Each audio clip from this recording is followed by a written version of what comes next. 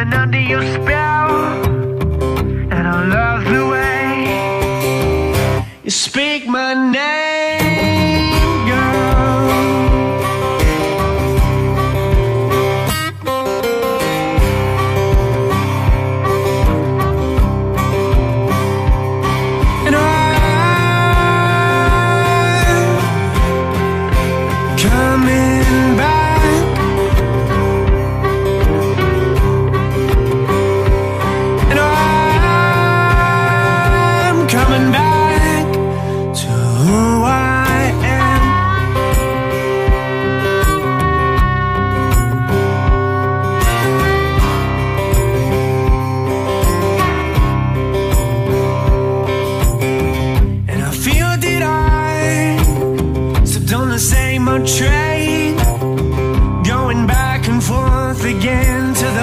Place I started in.